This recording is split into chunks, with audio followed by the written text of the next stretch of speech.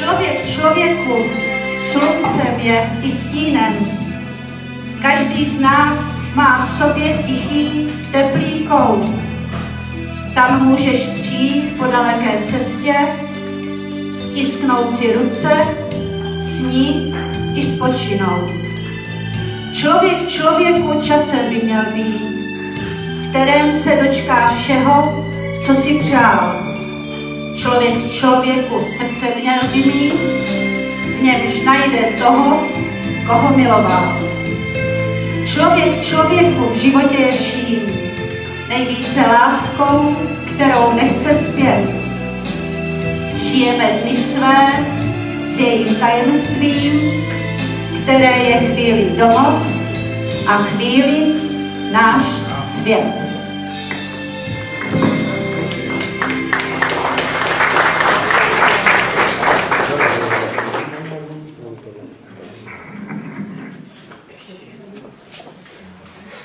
Vážené soudružky a soudruzi, vážení hosté. Básní Jana Nohy jeden druhému zahajuji z pověření okresního výboru komunistické strany Čech a Moravy v Kroměříži slavnostní aktiv k 90. výročí založení komunistické strany Československa. Srdečně zdravím a vítám vás, členy komunistické strany Československa a pamětníky z let 1945 až 1948, členy okresního výboru, předsedy základních organizací, hosty z našeho i jiných okresů, prostě vás všechny, kteří jste přijeli a chcete strávit dnešní odpoledne v mozaice vzpomínek času, vzájemných setkání, rozhovorů, zpěvu a možná i navázání nových přátelství a kontaktů. Neméně srdečně vítám mezi námi i našeho milého a vzácného hosta, docenta doktora Miroslava Grebeníčka, kandidáta věd, poslance parlamentu České republiky a bývalého dlouholetého polistopadového předsedu ústředního výboru komunistické strany Čech a Moravy, který přijal naše pozvání a stává se tak součástí dnešního slavnostního aktivu i nás samých. Ještě jednou ho vítám.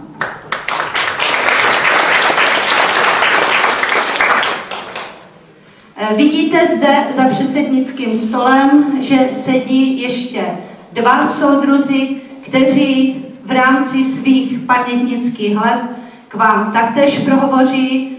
Bude to soudruh doktor Luděk Červík.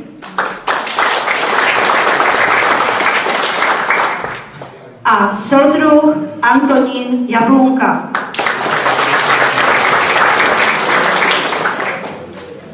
No a jako každý správný hospodář využívám svého prvního hosta a žádám jej o úvodní slovo k dnešnímu tématu. Miroslav Grebeníček.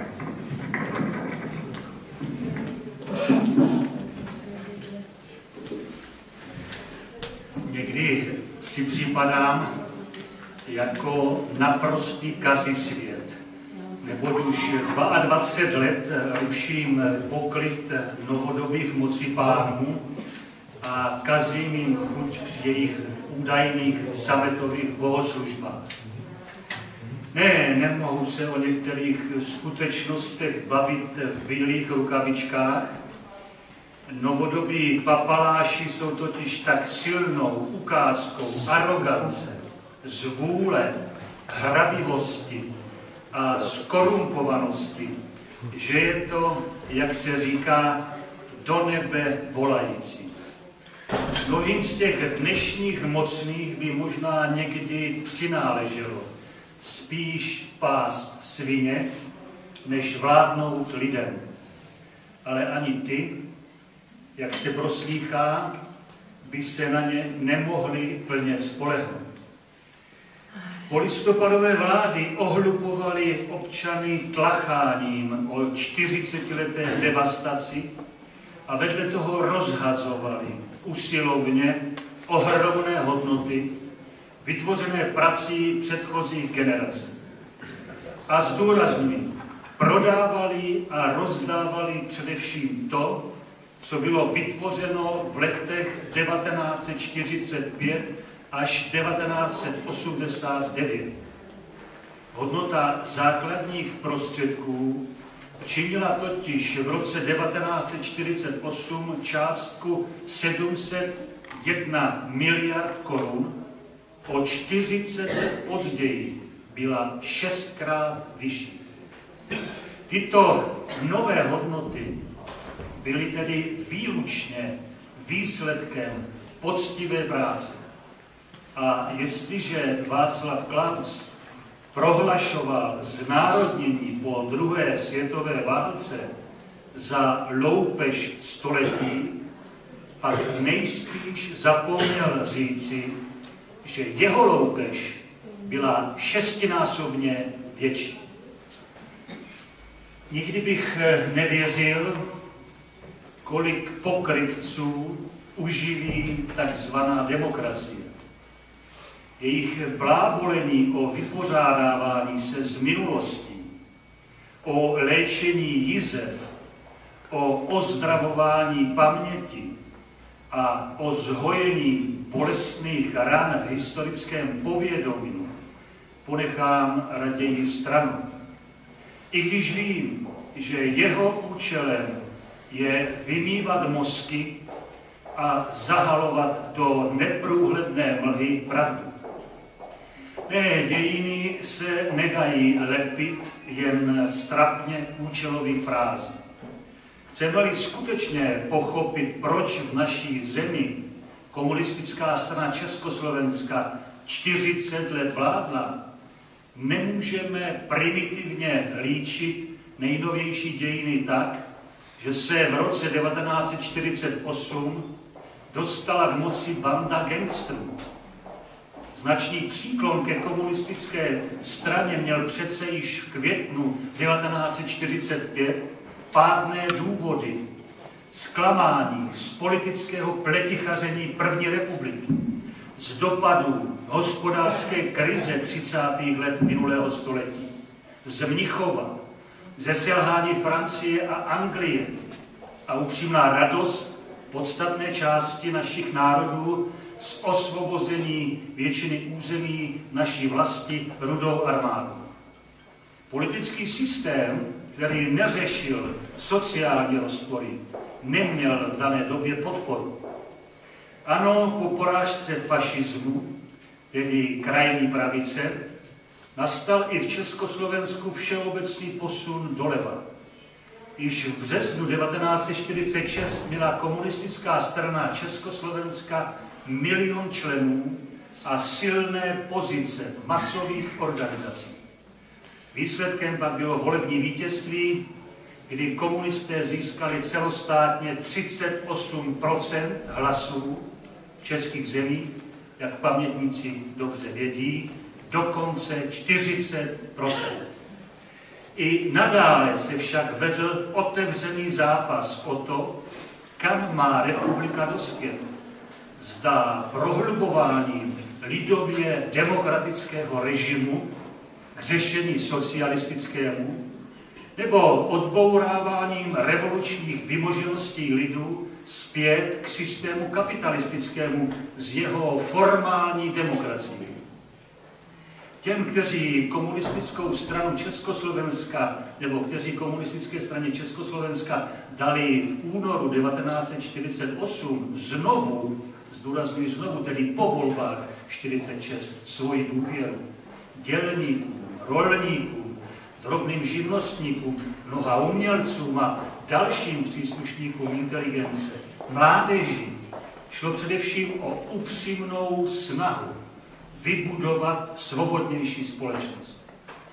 Ne únor 1948, nebyl žádným komunistickým podvodem spáchaným na lidových masách, ale především revolučním vystoupením, které mělo podporu širokých vrstev lidí. Odmítám přitakávat módnosti vulgárního antikomunismu, který se dostal dokonce i do školních učebnic. Lze ovšem souhlasit s těmi historiky, kteří prohlašují, tak či ona se únor 1948 odehrál sice na hraně, leč v rámci platné prvorepublikové ústavy. Nelze proto odmítat takové výsledky práce lidí, jako bylo výrazné zvýšení hrubé průmyslové výroby, industrializační procesy v zaostalých oblastech země, výsledky zemědělského družstevnictví, nesporný růst životní úrovně a sociálních jistot, možnost sociálního a společenského vzestupu příslušníků mnoha dříve neprivilegovaných, silně sociálně diskriminovaných skupin.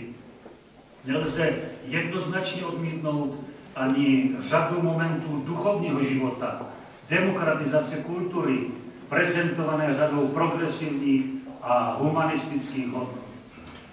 Těchto pozitivních výsledcích a stránkách našeho poválečného vývoje je skryta obětavá práce a společenská aktivita milionů čestných a pracovitých lidí, pro něž ideály socialismu nebyly prázdným heslem, za což si plným právem zaslouží naše upřímné poděkování.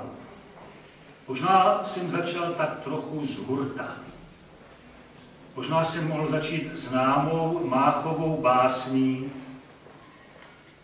která nás uvozuje do kouzelného jarního období, kdy nejen příroda po dlouhé zimě nabírá síly, aby se znovu mohla zaskvět ve své nádheře. I mnozí z nás podléhají kouzlu jara a ve svých myšlenkách objevují věčná témata lidského života. A to jak téma lásky naplňující náš život štěstím a porozuměním, tak i pocit člověka, že něco dokáže, že jeho práce, jejímž výsledkem je duševní a hmotné povznesení nejen konkrétního jedince, ale třeba i celé společnosti, má smysl a je i patřičně oceněna. Ano, mám na mysli zejména obrovský boj prostých lidí na celém světě za lepší a hlavně sociálně spravedlivější budoucnost. Dobro totiž nepřichází samo, musí se vybojovat. Platí to i v dnešní době, neboť z ponížení a zneužívání práce jiných lidí v osobní prospěch jednotlivce znovu vyvěrá touha změnit společnost k lepšímu. Jsou pak události, o kterých stojí za to přemýšlet a ke kterým se nedá mlčet. Mlčení politika, tím spíše člověka, který spojil svoji politickou dráhu ze stranou autentické levice, by právem mohlo být považováno za nedostatek argumentů nebo dokonce zbabělost. Je ovšem pochopitelné, že otázku, odkud přicházíme, kde se nacházíme a kam směřujeme, si neklademe nepřetržitě v každém okamžiku společenského vývoje. Je to obdobné jako s otázkou o smyslu lidského života, kterou nezodpovídáme v průběhu každodenních starostí, ale spíše v zásadních okamžicích našeho života. Poznání základních tendencí však nepochybně umožňuje lépe se orientovat o něch každodennostech a pohlédnout i za obzor všedního dne. Jistě, historie každého hnutí je citlivou politickou záležitostí, která se často stává oblastí střetávání zájmů různých společenských sil. Je tomu tak nepochybně i dnes. Kritizuje-li se komunistické hnutí, je všechno dovoleno. Všechno se může tvrdit a nic netřeba prokazovat. Vítězové mají prý tak to v dějinách bývá a pokřivené charaktery toho bohatě zneužívají. Ano, v posledních letech se nám doko, je nám dokonce vnucováno, že pojmy ztrácejí svůj obsah. Dříve nepochopitelné nebo nespochybnitelné lidské hodnoty jsou bagatelizovány, stávají se předmětem politického obchodu, obětí trapné reklamy, nebo jsou odsouvány na okraj našeho vnímání. Lidská sounáležitost je nahrazována tržní degradací mezilidských vztahů, sociální citlivost a solidarita ponižující charitou, demokracie politickou a mediální šaškárnou. To, čeho jsme svědky, není ovšem nic jiného, než z řetězu sociálního státu utržený kapitalismus. Svou povahou je to, co dnes rozděluje jednotlivé národní společnosti, Evropu a vlastně celý svět, do jisté míry shodné s tím, co známe z nedávné i vzdálenější minulosti. Sociální konflikty a rozpory nezmizely. Spory politické, kulturní, dokonce ani náboženské nebyly překonány. Války jsou nadále trvalou součástí politiky.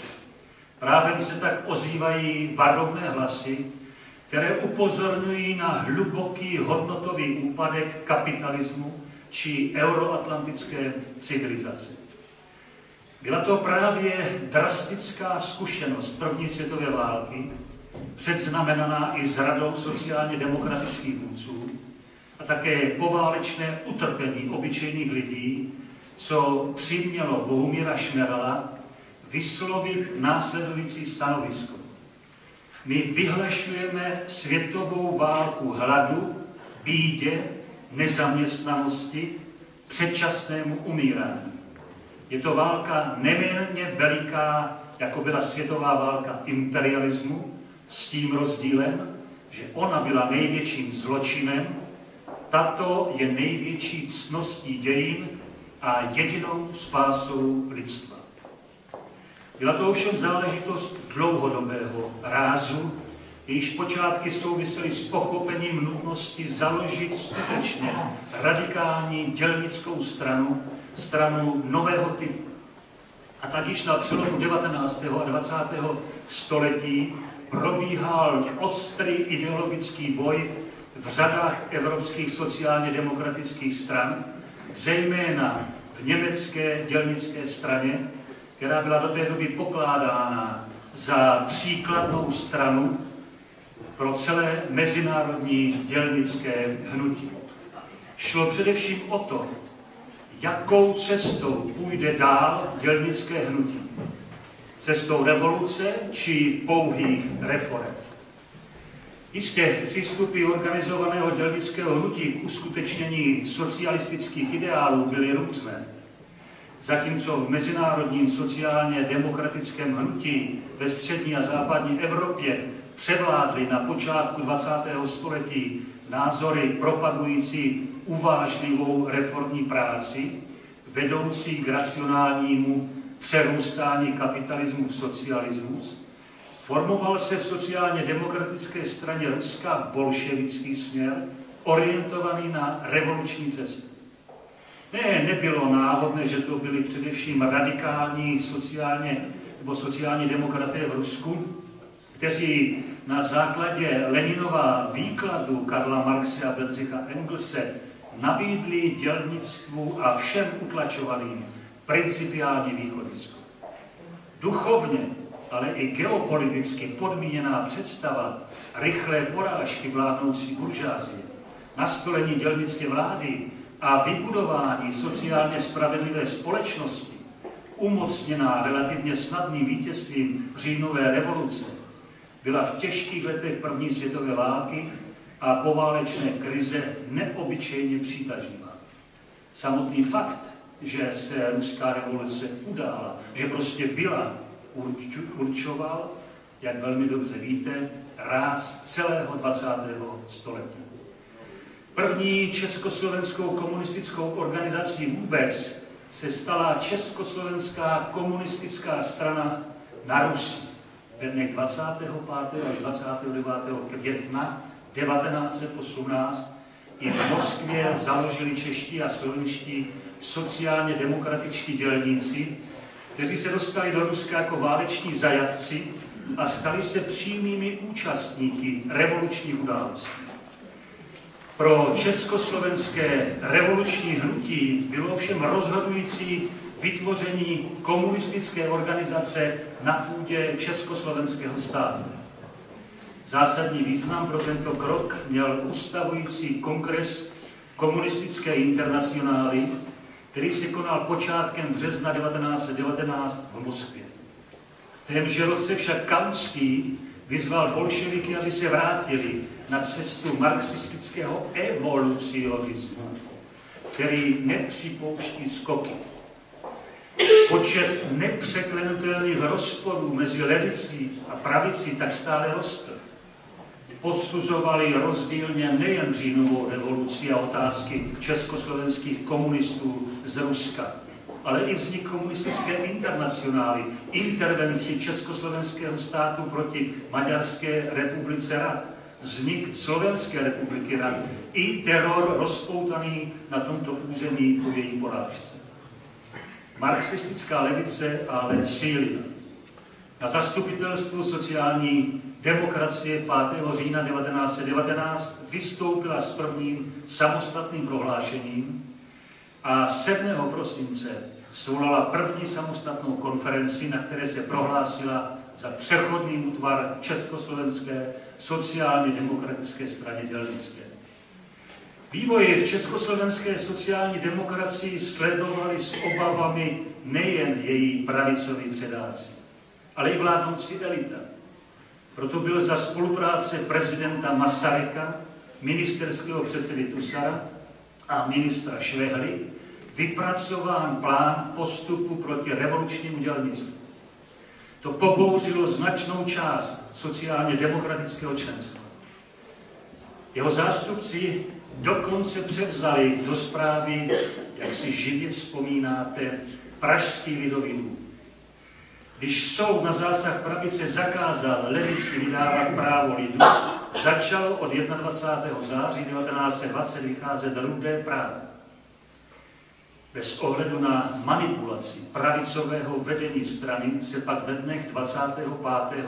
až 28. září 1920 konal v Praze 13. sjezd Československé sociální demokracie, na němž marxistická levice převzala vedení strany a ustavila se jako samostatná strana s názvem Československá sociálně demokratická strana dělnická levice. Ano, už jen nepatrný krůček chyběl k založení komunistické strany. Nebyl však učiněn, neboť 9. prosince 1920 policii a četnictvo obsadili Lidový dům. Revoluční dělnictvo odpovědělo generální stávkou. Vláda okamžitě vyhlásila v Praze a dalších městech mimořádný stav, na Kladensku, Slánsku, Brněnsku, Hodoninsku a Třebicku stané právo. V Mostě, Oslavanech, Praze a ve Vráblech dala dokonce do dělníků střílet. Šlo o akt bezprecedentní zvůle kapitalistického státu, při němž zahynulo 13 dělníků, desítky dalších byly zraněny a tisíce uvězněny. Vývoj po prosincových událostech roku 1920 vyvrcholil na ustavujícím sjezdu komunistické strany Československé ve dne 14. 16. května 1921 v Praze vznikla strana sociálního protestu, strana, která si kladla za cíl socialistickou revoluci dosáhnout sociálního posvouzení pracujících. Plnému sjednocení komunistického hnutí v Československu a i potom něco víte, došlo pak na svědčovacím sjezdu ve dnech 30. října až 2. listopadu 1921 v Praze, kde byl upřesněn i název strany komunistická strana Československa. Vzpomeňte si, jak je tomu dlouho, prohlásil na ustavujícím sjezdu komunistické strany Československa Bohumil Šmeral, že slovo bolševik se vůbec nesmělo nahlas vyslovit a jméno Lenin bylo jednou z nejhorších nadávek českého jazyka. Jak zlomena byla celá páteř dělnického hnutí.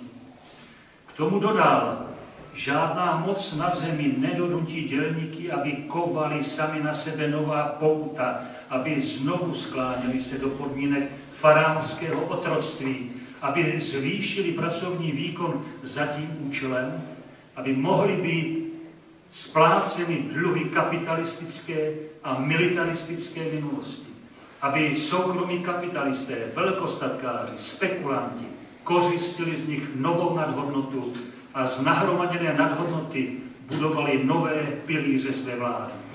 Ten, kdo pracuje, musí vidět, že pracuje ne pro příživníky a lichváře, nejbrž sám pro sebe, pro své děti, pro svou třídu.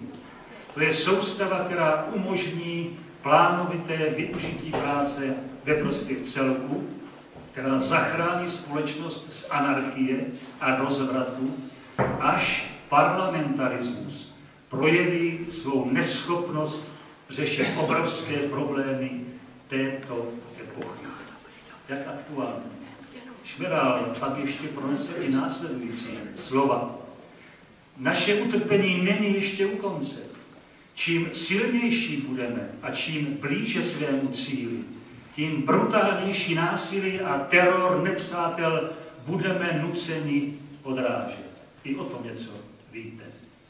Závěru Šmeralova projevu na ustavujícím sjezdu komunistické strany Československa zazněla i tato slova. Čekají nás také obtíže ještě jiného druhu. I náš další vnitřní vývoj nebude bez starostí. Mohou být zklamány naše iluze i v osobách, které stojí nebo zdají se státi nám blízko. Do každého hnutí, jakmile nabude určitého rozsahu, mohou se vloudit i špatní jednotlivci. Ale jako žádná oběť a utrpení, tak také žádné zklamání v jednotlivcích i případně v celých skupinách neotřese naší vírou v ideu, kterou jednou uznali jsme za správnou. Kež bychom všichni my, které osvítila záře této ideje a kteří musíme po případě být tvrdými v jejich službách, našli sílu, abychom přitom vždycky všichni zůstali současně dobrými lidmi.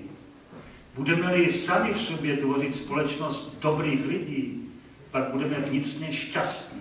I kdyby na nás dopadly kruté rány a kdyby se celý ostatní svět s potupou na nás díval jako na zrádce a vyvrhlé lidstva.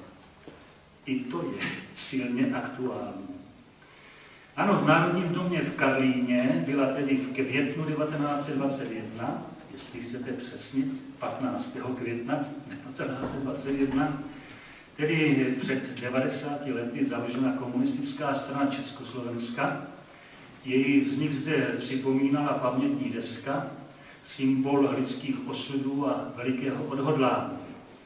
Je samozřejmě příznačné pro polistopadové mocenské elity, že ji po roce 1989 nechali